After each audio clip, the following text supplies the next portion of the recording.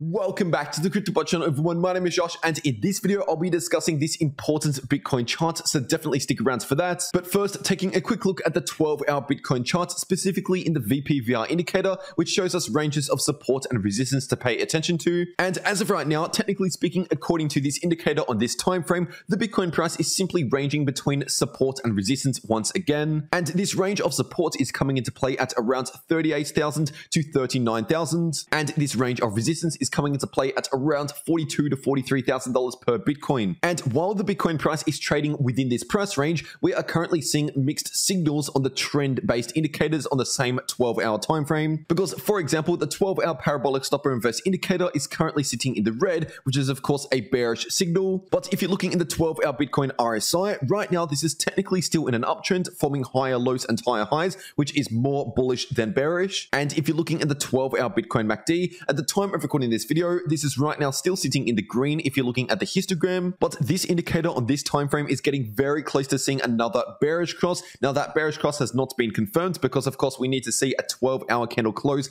after seeing the bearish cross, which once again has not happened just yet, but this is something important to pay attention to. And for those of you that have been watching my videos over the past few months throughout this entire price range right here, you would know that during the time periods where we see some mixed signals, basically bullish and bearish signals, instead of all three of these these indicators lining up in the same direction, during those time periods, we are simply looking more neutral rather than bullish or bearish, at least in the shorter term, especially while the Bitcoin price is still trading within those support and resistance ranges that I just mentioned. And now giving you a quick update on the daily Bitcoin chart. Yesterday's daily candle close closed right above this support line, which means the Bitcoin price on the daily time frame has not currently confirmed a breakdown, at least just yet. And the next daily candle close is in around six hours from now at the time of recording this video. And so basically, if we see a daily candle close below around 39,000, that is how you know we are finally starting to break down here on the daily Bitcoin chart, which would obviously be a bearish signal. And in that case, we do have this range of support, which is coming in at around 37 to $38,000 per Bitcoin. And if the Bitcoin price loses that $37,000 level, so basically if we break below this important previous range of support, then in that more bearish scenario, it is possible the Bitcoin price could retest those January lows. But of course, we have not had confirmation of that scenario playing out at least just yet. And as always, if you want to get real-time updates throughout the day, make sure to follow me over my Twitter and the link to my Twitter is in the description down below and also in the pinned comment. And just before I get into some other important Bitcoin charts, something else to consider is the fact that the Bitcoin Fear and Greed Index is currently sitting in extreme fear. And this is happening while the Bitcoin funding rates are very much negative. And for any of the beginners out there, when the funding rates are negative, that is putting an extra pressure on the Bitcoin short position positions. Because basically, when the funding rates are negative, the short positions, the people that are betting on the Bitcoin price going down, have to pay money, usually every eight hours, to the Bitcoin long positions, the people that are betting on the Bitcoin price going up. So essentially, while the Bitcoin funding rates are negative, it is more expensive to short Bitcoin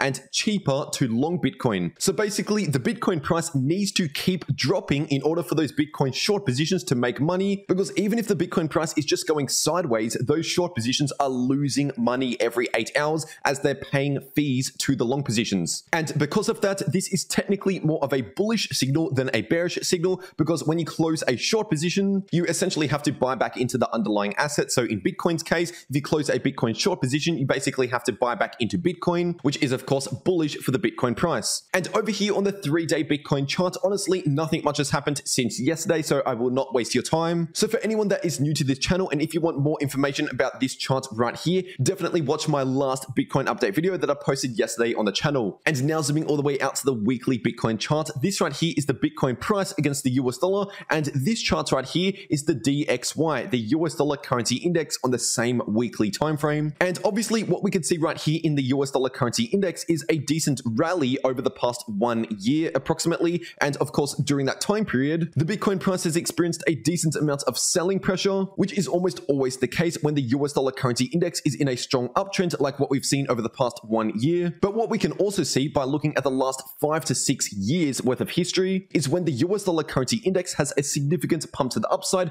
just above 100, more specifically at around 102, give or take. We have previously seen a lot of resistance in that area, and basically when the US dollar currency index runs into a lot of resistance, and more importantly, when the US dollar sees a rejection and heads back down, that is usually an extremely bullish signal for the Bitcoin price price on the much larger timeframes, talking about the weekly Bitcoin charts, for example. In this first example back in 2017, the Bitcoin price pumped from around $800, give or take, up towards $20,000 before our next significant pullback on the weekly Bitcoin chart. And in this second example, at the start of 2020, the Bitcoin price pumped from around 4,000 US dollars to well above 60,000 US dollars before our next significant pullback. So these are far from small moves in the Bitcoin price. We're talking about 10 to 20x gains. According to these two previous signals that we have seen over the past five to six years worth of Bitcoin's history and the DXY's history. And obviously, if you're looking at the DXY right now, we're sitting at around 101, getting very close